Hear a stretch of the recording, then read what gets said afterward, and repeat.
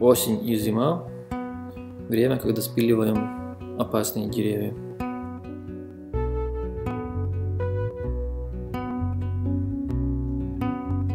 Если надо, мы можем быстро и красиво и надежно спилить любое дерево.